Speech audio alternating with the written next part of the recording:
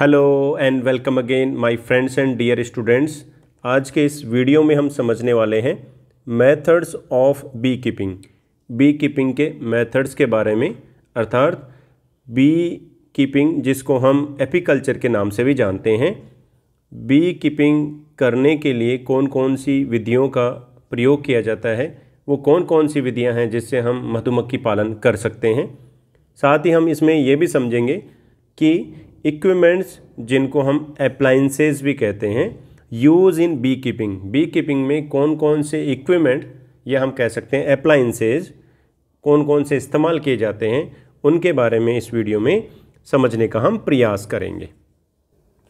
इससे पूर्व वीडियो में हमने ये जाना कि एपीकल्चर में मधुमक्खियों की कौन कौन सी स्पीसीज़ का प्रयोग किया जा सकता है और कौन सी स्पीसीज़ का प्रयोग नहीं किया जा सकता है। जिसमें हमने अलग अलग स्पीसीज़ के बारे में जाना। इसके अलावा हमने ये भी समझा कि एपीकल्चर होता क्या है। अगर हम यहाँ शॉर्ट में बात करें तो एपीकल्चर क्या होता है? The practice of rearing of honey bees by modern scientific methods and obtaining honey and wax यानी हनी बी को पालना क्यों? क्योंकि उनसे हमें शहद और वैक्स जो पदार्थ प्राप्त करने हैं तो उन पालने की जो विधि होती है, उसको हम एपीकल्चर के नाम से जानते हैं। यानी सरल शब्दों में ये कह सकते हैं कि मधुमक्खी के पालने की विधि को हम एपीकल्चर कहते हैं और ये पाला क्यों जाता है? वो हमारे फ़ायदे के लिए पाला जाता है, जिसमें हमें शहद प्राप्त होता है और वैक्स प्राप्त होता है। तो सबसे पहले हम बात करते हैं मेथड्स ऑफ़ बी कीपिंग जिसमें जो यहाँ पर जो उपकरण दिए गए हैं, उनमें एक ख़ास टॉपिक और हम पढ़ेंगे और वो है आर्टिफिशियल बी हाइव के बारे में। यानी जो कृत्रिम रूप से जो मधुमक्खी का छत्ता बनाया, कैसे जाता है, उसके बारे में भी हम समझेंगे। सबसे पहले बात करते हैं मेथड्स ऑफ़ बी कीपिंग जो कि दो प्रकार का होता है। यानी मधुमक्खियों को पालने के तरीके दो प्रकार से थे। फ़र्स्ट वन जो पहला है ओल्ड इंडिजिनस मेथड जो कि पुराना है, और दूसरा जो है मॉडर्न साइंटिफिक मेथड जिसमें वर्तमान में कुछ वैज्ञानिक प्रणालियों का यूज़ करते हुए हमने मधुमक्खियों का पालना एक उद्योग स्तर पर शुरू किया।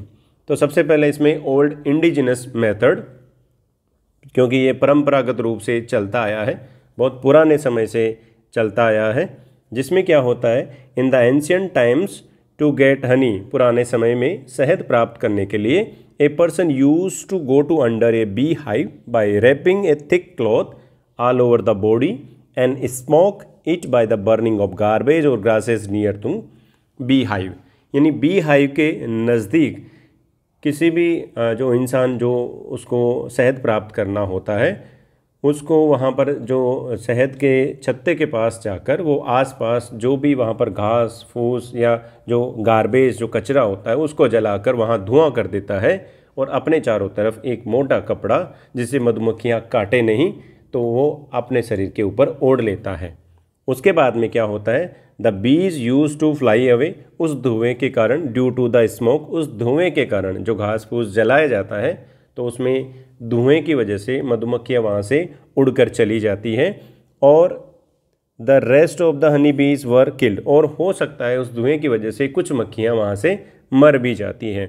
And the honey got by the breaking the hive और उसके बाद में उस छत्ते को तोड़ लिया जाता है और उससे छत्ते से हनी प्राप्त किया जाता है। In this method honey is separated from the hive by squeezing it इस प्रक्रिया में छत्ते को स्क्वीज करके निचोड़ कर फिर शहद प्राप्त किया जाता है। सो so, इसमें क्या होता है? ड्यूरिंग दिस अगर हम स्क्वेजिंग कर रहे हैं छत्ते को सो so, क्या हो रहा है? जब larva pupa and their eggs present in the hive are also destroy इस प्रक्रिया में जो लार्वा प्यूपा और मधुमक्खियों के जो एग होते हैं, जो कि हाइव में प्रेजेंट हैं, वो भी नष्ट हो जाते हैं। And the remains of the their body also get mix in the honey और उनके जो बॉडी पार्ट्स होंगे बॉडी पार्ट्स मीन्स अगर कोई मक्खी उस शहद को उस छत्ते को जब हम निचोड़ रहे होते हैं तब उसमें जो अंडे होंगे या लार्वा होंगे या उनके प्यूपा होंगे या हो सकता है कोई मक्खी अंदर फंसी रह जाए उनके निचोड़ने से शहद में भी वो इम्प्योरिटीज आ जाती है हम ये कह सकते हैं कि उनमें लार्वा भी आ सकता है उसमें प्यूपा भी आ सकता है और कुछ मक्खियों के अंडे भी उसमें हो सकते हैं। सो so, उसमें एक्चुअली क्या हो रहा है? The honey obtain in this way was not pure इसमें जो शहद जो प्राप्त किया जाता है वो शुद्ध नहीं हो पाता है। Generally people started using pitchers boxes and sticks generally पुराने समय में जहाँ पर छत्ता लगा हुआ होता है, उसको तोड़ लिया जाता था, लेकिन धीरे धीरे लोगों को लगा ये महत्व का है। शहद का अपना रोल होता है, उनकी महत्वपूर्ण भूमिका होती है। हम कह सकते हैं कि इसका मेडिसिनल यूज़ भी है। सो लोगों ने फिर स्टार्ट किया कि अब हम इसको अपने घर के आसपास या हम चाहें वहाँ पर इसको लगाना शुरू करें। तो उसमें लोगों ने मटकों में, यानी घड़ों में बॉक्सेस में और कई स्टिक्स पेड़ की जो टहनियाँ होती है, वो वहाँ पर कोशिश शुरुआत की कि यहाँ पर मक्खियाँ आकर बैठें due to which bees start making hive in them जिससे कि उन भागों पर, जैसे कि पिक्चर्स पर बॉक्सेस पर और स्टिक्स पर या अदर कोई पार्ट हो वहाँ पर आके वो अपना घर बनाए। But it was not necessary that bees must make hives there लेकिन ये कोई ज़रूरी नहीं है कि वहाँ पर मक्खी आकर बैठे ही। इस वजह से ओल्ड इंडिजिनस मेथड में कई तरह की कमियाँ हैं। कमियाँ इन द सेंस एक कमी तो जैसे कि ये मधुमक्खी की जो शहद जो प्राप्त किया जा रहा है, उसमें इम्प्योरिटी को बढ़ाने का काम कर रहा है। या हम कह सकते हैं इसमें जो शहद प्राप्त किया जाता है, उसमें इम्प्योरिटीज़ ज़्यादा होती है। दूसरी बात, हमें हर बार एक नए छत्ते को नुकसान पहुंचाना पड़ता है, जिसमें मधुमक्खियों को बार बार उस काम के लिए मेहनत ज़्यादा करनी पड़ती है। और तीसरी बात, हमें पता नहीं होता है कि हमें जो हनी कॉम्ब है, वो कहाँ पर प्राप्त होगा, उसकी जगह क्या रहेगी। सो कई सारे इसमें नुकसान थे, इस वजह से वर्तमान में कुछ वैज्ञानिक प्रणाली का प्रयोग करते हुए मॉडर्न साइंटिफिक मेथड्स डेवलप किए गए, जिसमें क्या होता है? In modern method artificial bee hives are use इस प्रक्रिया में आर्टिफिशियल बी हाइव का प्रयोग किया जाता है, यानी कृत्रिम मधुमक्खी के छत्ते का प्रयोग, छत्तों का प्रयोग किया जाता है which can be lifted from one place to another place जिनको एक जगह से दूसरी जगह स्थानांतरित किया जा सकता है। टू ऑप्टेन हनी, और हनी प्राप्त करने के लिए दे आर नॉट ब्रोकन इनको तोड़ने की आवश्यकता नहीं है। Rather the same hive is use again and again so that the bee do not have to change place again and again अगर हाइव वही रहेगा, मधुमक्खी का घर वही रहेगा तो मधुमक्खियों को जो उनका जो स्थान होता है, वो भी जगह उनकी बदलेगी नहीं, क्योंकि वो एक ही जगह पर, जिसको, जिसमें हम बात कर रहे हैं आर्टिफिशियल बी हाइव में ही वो अपना घर बनाएगी, वहीं पर शहद इकट्ठा करेगी और वहीं से हम भी उसको प्राप्त कर लेंगे। They there is no wastage of labour in making the hive इसमें मक्खियों को घर बनाने की या हम कह सकते हैं उनका हाइव बनाने के लिए कोई मेहनत नहीं करनी पड़ती है। And there are no impurities और body parts in the honey इसमें हम समझेंगे कि आर्टिफिशियल जो बी हाइव होता है उसमें एक चैम्बर कुछ ऐसे होते हैं इनको बनाए इस तरह से जाता है कि इनके बॉडी पार्ट्स इनके जो लार्वा होते हैं इनके जो प्यूपा होते हैं ये एक अल, अलग भाग में रहते हैं जबकि शहद वो दूसरे भाग में पाया जाता है। तो इसमें इम्प्योरिटीज़ भी है वो बहुत कम हो जाती हैं। These bee hives are looked up by the care takers इसमें केयर टेकर्स के द्वारा यानी जो देखभाल कर रहा होता है मधुमक्खी पालन करता जो होता है वो इन मक्खियों को आसानी से देख सकता है। Hence they are lifted and kept at a safe place in the adverse weather जैसा वेदर होगा, जैसा क्लाइमेट होगा, उस अकॉर्डिंग इनको एक जगह से दूसरी जगह ले जाया जा सकता है। ये इसके बेनिफिट भी होंगे। यानी अगर मौसम गर्म हो गया है या ज़्यादा ही ठंडा हो गया तो इसके स्थान पर इनको जगह बदली जा सकती है।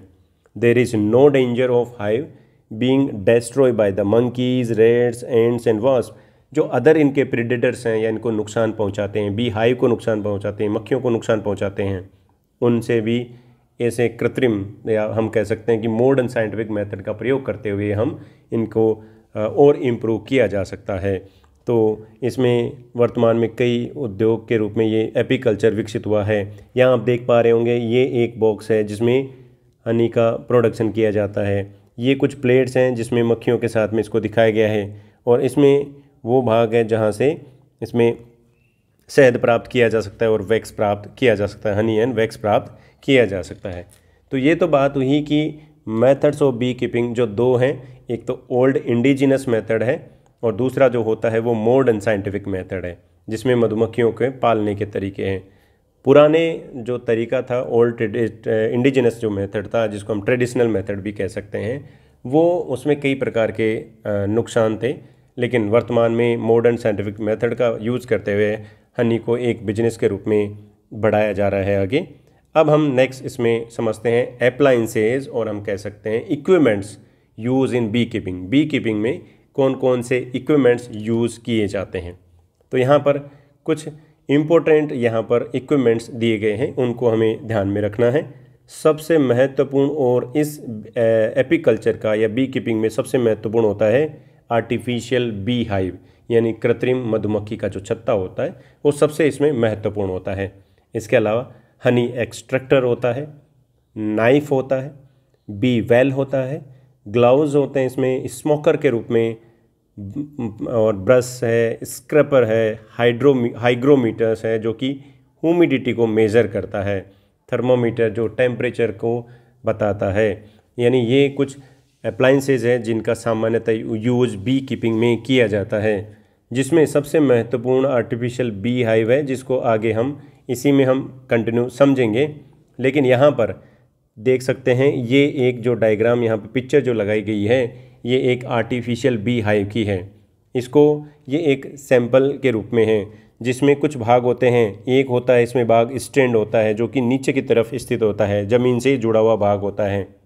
उसके बाद में एक बोर्ड, एक जिसको हम बॉटम बोर्ड कहते हैं, वो पाया जाता है। उसके बाद में कुछ बॉक्सेस पाए जाते हैं, जिनको हम ब्रूड चैम्बर भी कहते हैं। उसके बाद में है क्वीन एक्सक्लूडर, जिसमें क्वीन को सेपरेट करने के लिए एक जाली लगाई जाती है। उसके बाद में हनी सुपर, और बॉक्स जो लगाए जाते हैं, उसमें जो शहद है वो बनाया जाता है और उसके बाद में दो कवर पाए जाते हैं। एक इनर कवर है और उसके ऊपर एक आउटर कवर पाया जाता है। तो इस तरह से एक आर्टिफिशियल बी हाइव का निर्माण किया गया है, जिसको हमें एक एक करके समझना है। सबसे पहले आर्टिफिशियल बी हाइव को हम और डिटेल से समझते हैं।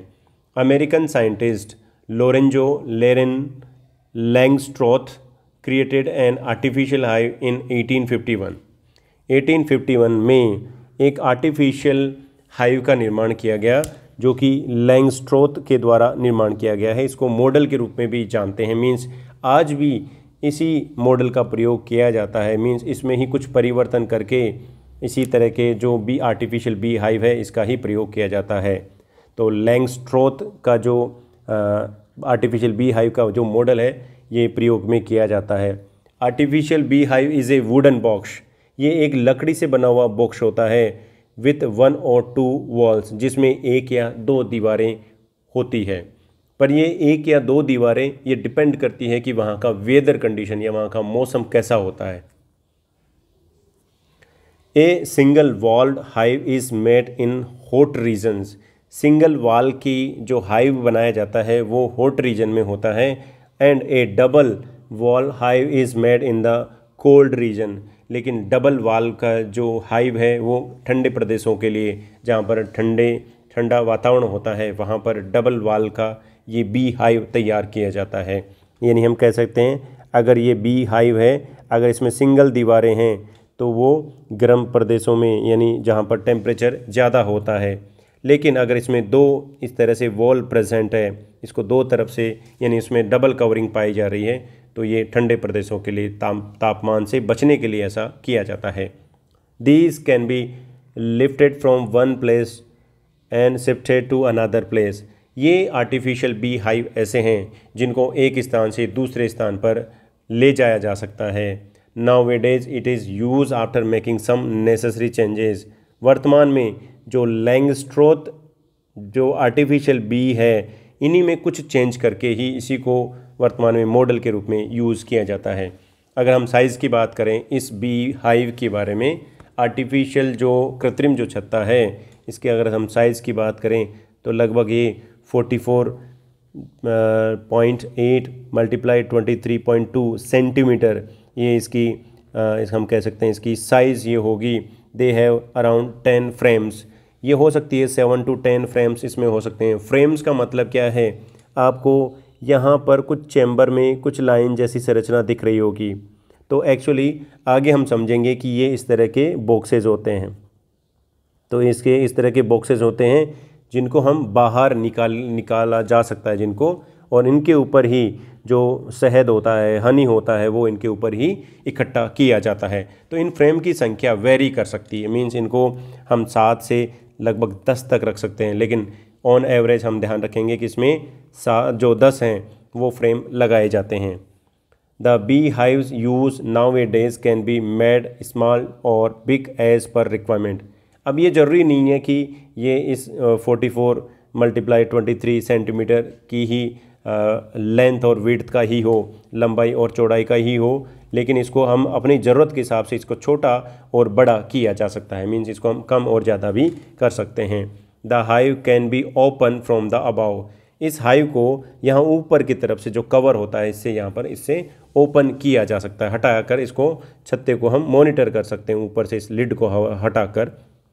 It is a multi store structure आपको देखने से भी लग गया होगा कि एक बहुमंजिली इमारत के समान संरचना होती है। मल्टी स्टोर्ड स्ट्रक्चर होती है in which a number of frames are place which can be inserted और रिमूव जिनमें से कुछ जो फ्रेम्स होते हैं इनके अंदर सांचे जो लगे हुए होते हैं, इनको बाहर निकाला भी जा सकता है और अंदर वापस लगाया भी जा सकता है। हम देख पा रहे हैं इसमें बॉटम बोर्ड होता है।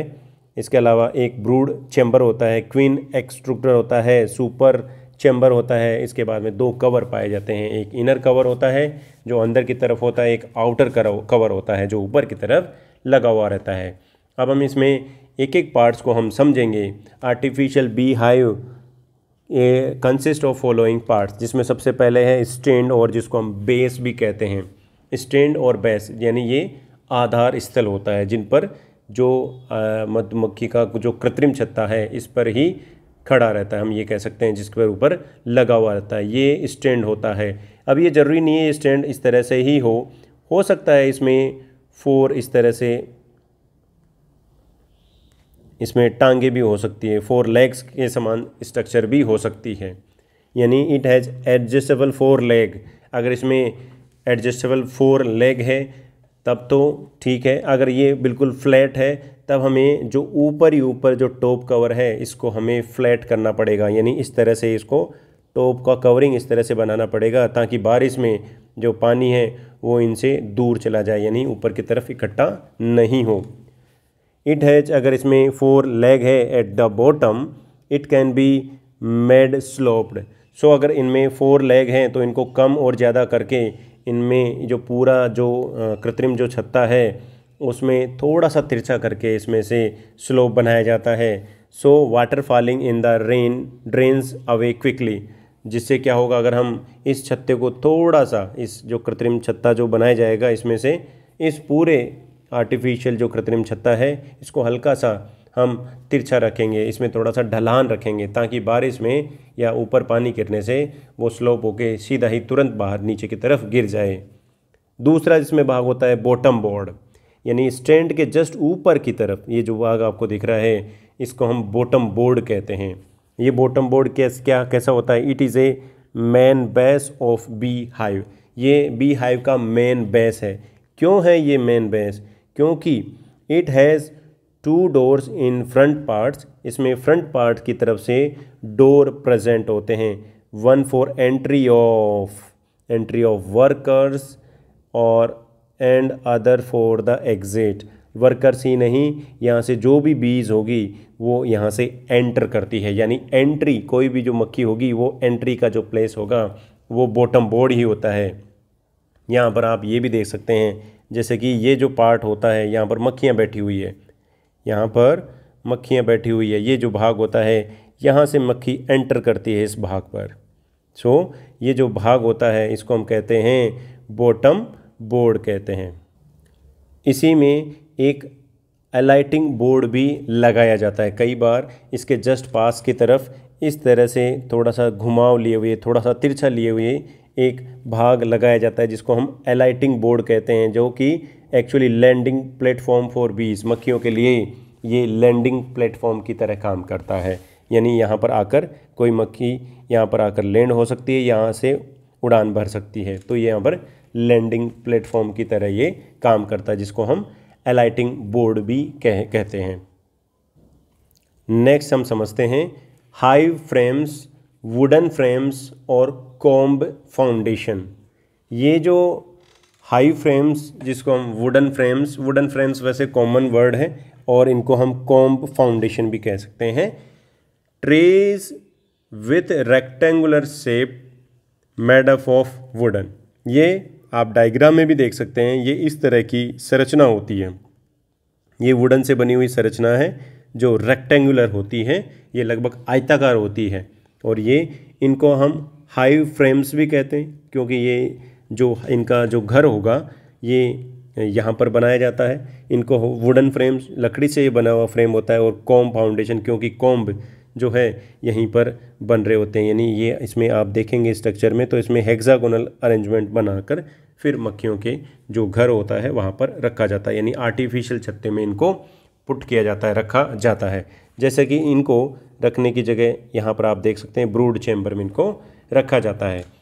नेक्स्ट जो पार्ट है आर्टिफिशियल बी हाइव में, यानी कृत्रिम छत्ते में जो नेक्स्ट जो भाग होता है, वो होता है ब्रूड चैम्बर जिसको हम एग चैम्बर भी कहते हैं। आपको नाम से भी समझ में आ रहा होगा कि इसमें एग रखे जाते होंगे, या इसमें ब्रूडिंग यानी इसमें बच्चे होंगे। It is a wooden box wooden box वैसे तो आपको पता ही है कि आर्टिफिशियल जो बी हाइव है, वो वुडन का ही बना हुआ है। Which five to ten frames can be place जिसमें पाँच से दस फ्रेम रखे जा सकते हैं। अब यहाँ पर अगेन फ्रेम की जो संख्या है, वो बदल दी गई है। मीन्स एक्चुअली आपको फिक्स नहीं करना है, नहीं, लेकिन ऑन एवरेज आपको ध्यान रखना है कि अराउंड टेन फ्रेम तो हम इसमें यूज़ कर सकते हैं। These frames are fitted into honey chambers at a certain distance called bee space इनको हनी चैम्बर में इनको रखा जा सकता है। यहाँ तो ये ब्रूड चैम्बर ही हैं सॉरी ये यहाँ पर सिर्फ़ ब्रूड चैम्बर और एक चैम्बर में ऐसे तो रखे ही जाते हैं, साथ ही साथ यहाँ पर जो ये बॉक्स बनाए गए हैं, जैसे कि यहाँ पर आपको ये फ्रेम दिख रहे हैं, इनमें इस तरह से जैसे कि ये एक फ्रेम का एक ऊपर का पार्ट है तो दूसरा जो फ्रेम लगाया जाएगा वो इससे कुछ डिस्टेंस को लेकर फिर बनाया जाएगा। कुछ डिस्टेंस का मतलब क्या हुआ? यहाँ जो ये भाग है, बीच का जो पार्ट है, इसको हम बी स्पेस कहते हैं। यानी एक दूसरे से इतने नज़दीक भी नहीं लगाए जाते। ये जो फ्रेम होते हैं, इनको थोड़े डिस्टेंस पे लगाया जाता है। तो आप ये सब समझ सकते हो। जैसे कि ये एक वुडन फ्रेम है।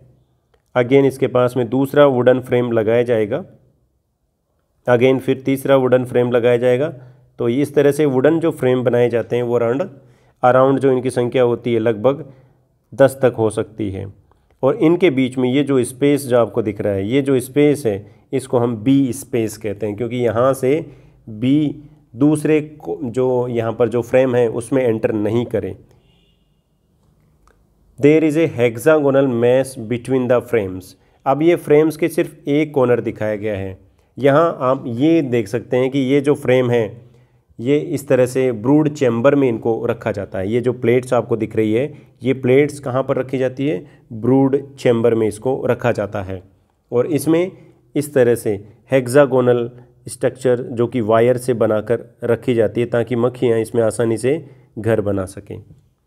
These hexagonal mesh work as a chamber for bees bees lay their eggs in this chamber इसमें क्या प्रोसेस हो रही है? मक्खियों के द्वारा एग लेइंग की प्रक्रिया इसी चैम्बर में होती है, इसलिए इसको एग चैम्बर भी हम कहते हैं।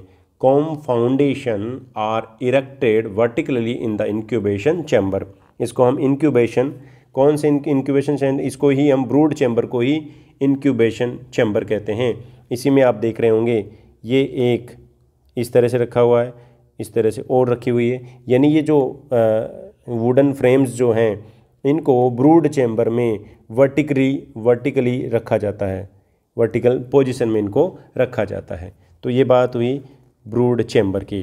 यानी हमने देखा, एक तो होता है इसमें स्टैंड उसके बाद में हमने देखा कि इसमें अलाइटिंग बोर्ड लगा सकते हैं मक्खियों को उड़ान भरने के लिए, यहाँ पर लैंडिंग करने के लिए। उसके बाद में बॉटम बोर्ड होता है और बॉटम बोर्ड के ऊपर की तरफ़ होता है ब्रूड चैम्बर नेक्स्ट जो है, वो है ग्रिड और क्वीन एक्सक्लूडर ये जो सुपर चेम्बर और ब्रूड चेम्बर के बीच में यहाँ पर एक जाली लगाई जाती है, इस बीच वाले भाग में। एक बार मैं इसको क्लियर कर देता हूँ।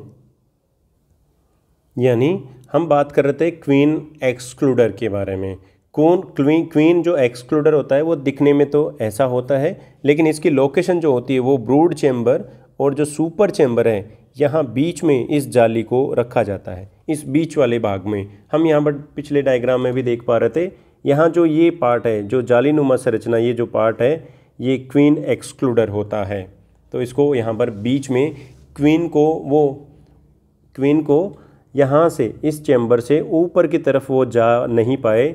इसलिए यहाँ पर ये पार्ट क्वीन एक्सक्लूडर यहाँ पर लगाया जाता है। क्योंकि जो मक्खियाँ हैं, वो एंटर यहाँ से करती है और वो धीरे धीरे जो बच्चे देने का काम, हम कह सकते हैं अंडे देने का जो काम हो रहा है और जो लार्वा बन रहे हैं, वो सभी यहाँ पर प्रोसेस हो रही है। लेकिन जो हनी जो बनाया जाएगा, वो ऊपर वाले दो चैम्बर जो एक चैम्बर या दो चैम्बर अलग अलग स्टोरेज के रूप में इसको बना सकते हैं, जिसको हम हनी सुपर भी कह सकते हैं या सुपर चैम्बर भी कहते हैं, यहाँ पर बनाया जाता है।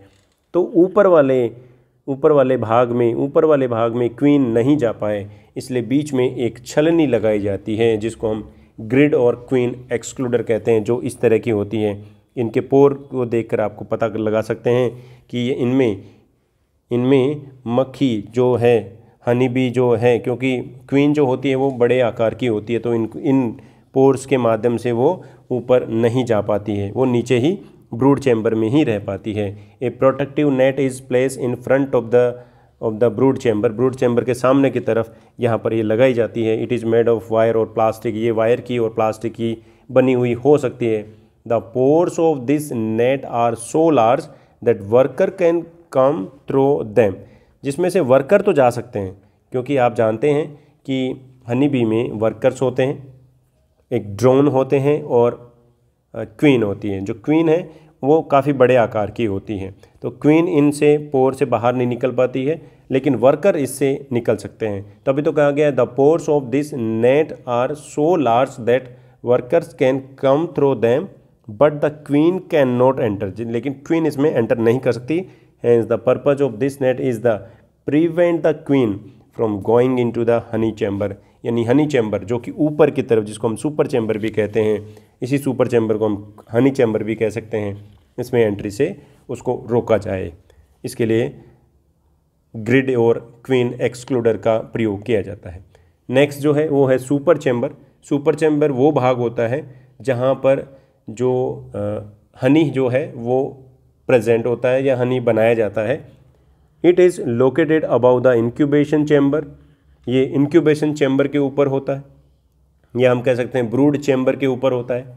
Workers are collected honey honey here by taking pollen and nectar pollen और नेक्टर का यूज़ करते हुए पोलन और नेक्टर जो कि फ्लावर से इन मक्खियाँ प्राप्त करते हैं, फूलों से ये पोलन और नेक्टर प्राप्त करते हैं, इनसे वो हनी बनाते हैं। In this part frames can be increase as per the requirement इसमें भी कुछ फ्रेम्स रखे जाते हैं, जैसे कि आप डायग्राम में भी देख सकते हैं, जैसे कि यहाँ पर एक फ्रेम बाहर निकाला हुआ है, और और फ्रेम लगे हुए हैं।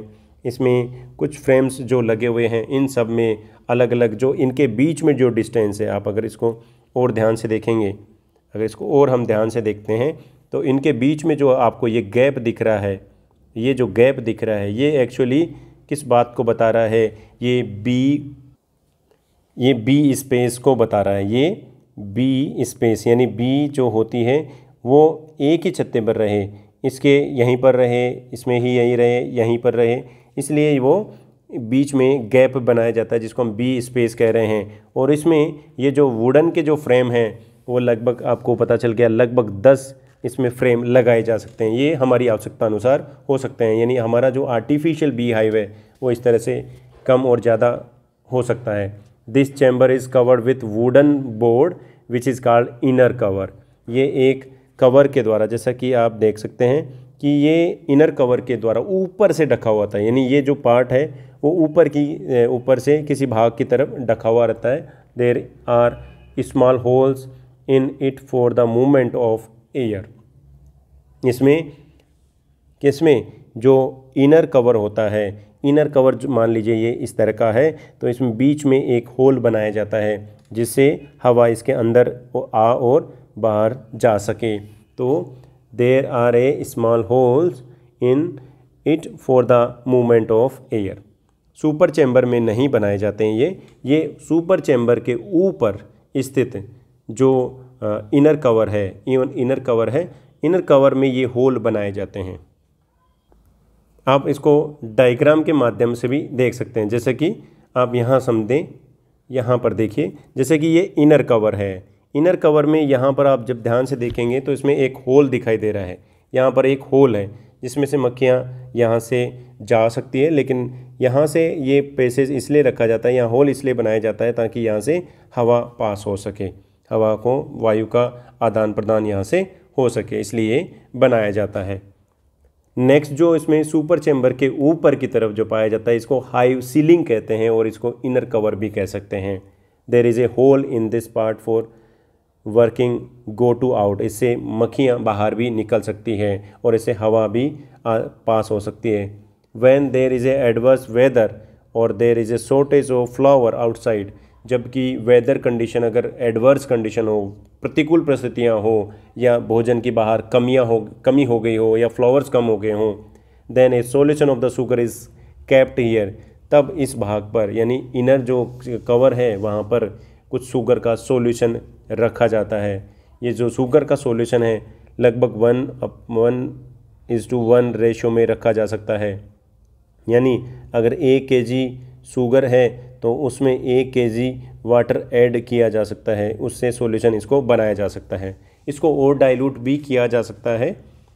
Sometimes this partition is use as a room to make two colonies in the same hive अगर एक ही हाइव में अगर हमें दो कॉलोनियाँ बनानी हो, तब यहाँ से ऊपर एक और हम बन, इसके ऊपर दूसरा हम हनी कॉम बना सकते हैं। मीन्स हम कह सकते हैं कि वहाँ पर एक और बी हाइव का फॉर्मेशन किया जा सकता है।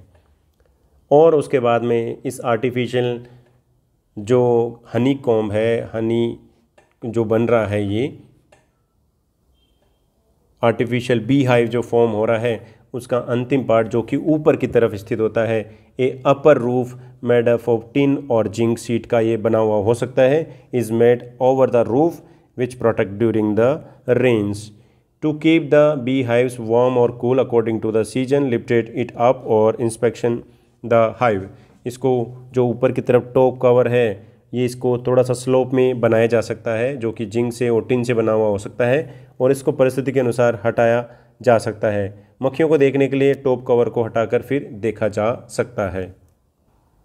तो ये बात हुई आर्टिफिशियल बी हाइव के बारे में। ये तो सिर्फ़ बात हुई आर्टिफिशियल बी हाइव के बारे में। हम पढ़ रहे थे actually equipments that use in equipments that use in bee keeping यानी वो उपकरण जो बी कीपिंग में इस्तेमाल किए जाते हैं, जिसमें सबसे महत्वपूर्ण था हमारे सामने आर्टिफिशियल बी हाइव उसके बाद में नेक्स्ट जो उपकरण है, वो है हनी एक्सट्रैक्टर हनी एक्सट्रैक्टर यानी जिससे हम शहद बाहर निकालते हैं। तो वो आप डायग्राम में देख सकते हैं, इस तरह की एक मेटल से बनी हुई स्ट्रक्चर होती है, जिसमें जो जो छत्ते होते हैं, उनको हम लगा सकते हैं। जो कॉम्ब है, उनको इनकी प्लेट्स के भीतर लगाकर इसको घुमाया जाता है। इसको रोटेट किया जाता है और यहाँ इस नली के माध्यम से शहद को इकट्ठा कर लिया जाता है और ये सेंट्रीफ्यूगल फोर्स की तरह इकट्ठा किया जाता है शहद। तो हम इसको पढ़ते हैं। Honey is extracted from the artificial hive by a honey extractor honey extractor के द्वारा हम इसको आर्टिफिशियल बी हाइव से हम क्या निकाल सकते हैं? हनी निकाल सकते हैं। It is made up of metal ये मेटल का बना हुआ होता है। जनरली ये टिन का हो सकता है।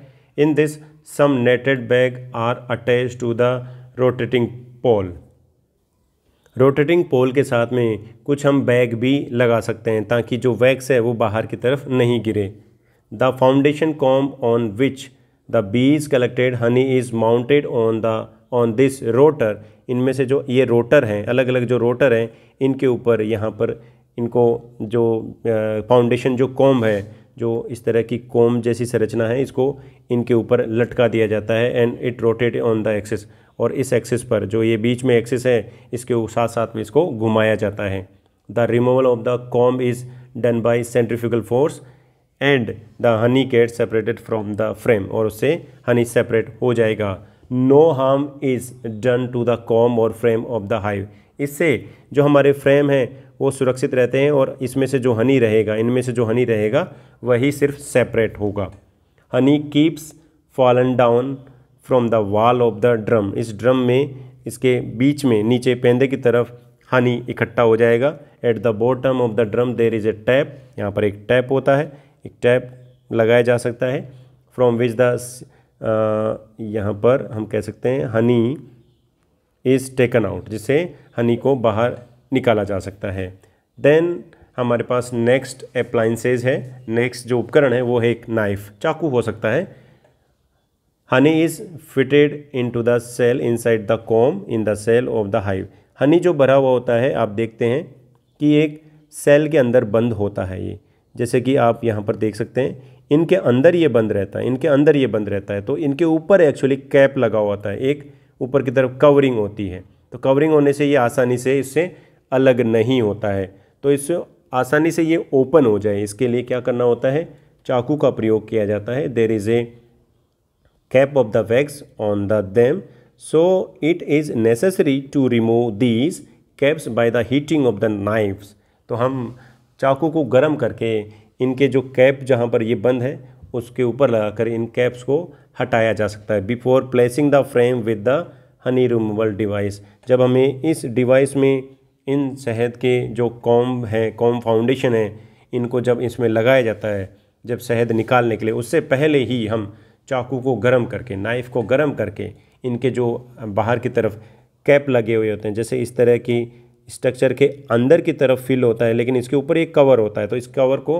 हटाया जाता है। ये वैक्स का बना हुआ होता है और इसको हटाकर फिर उसके अंदर रखा जाता है।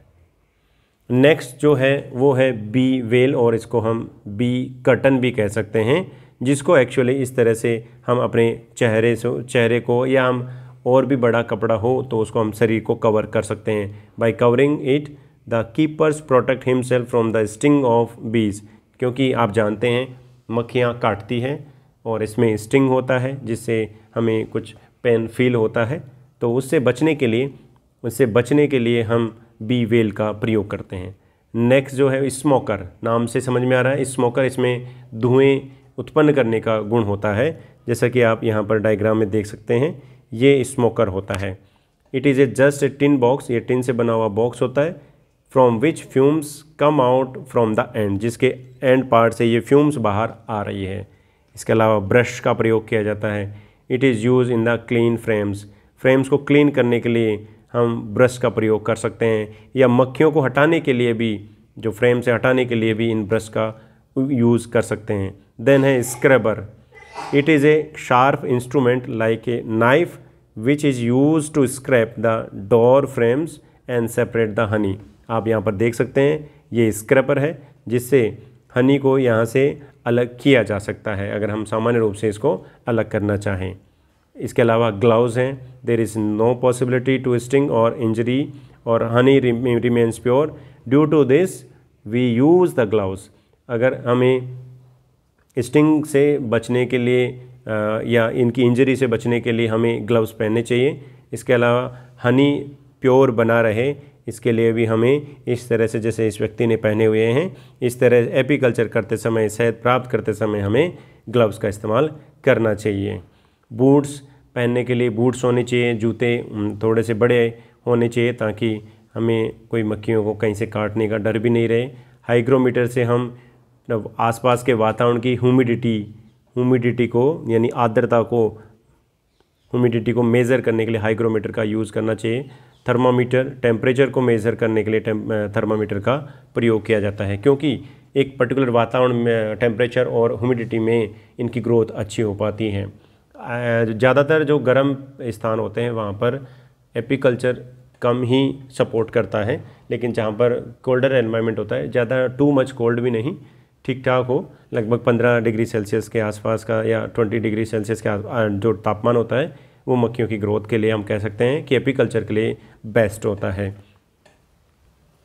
सो so, आज के इस वीडियो में आपने जाना कि बी कीपिंग में कौन कौन से इक्विपमेंट्स इस्तेमाल किए जाते हैं और बी कीपिंग में कौन कौन से मेथड्स जो कि हमने ओल्ड इंडिजिनस मेथड्स और साइंटिफिक मेथड जो सिंपली जिसमें कई तरह की प्रोसेस हो चुकी है कई तरह के डेवलपमेंट और हो चुके हैं। इसके बारे में जाना।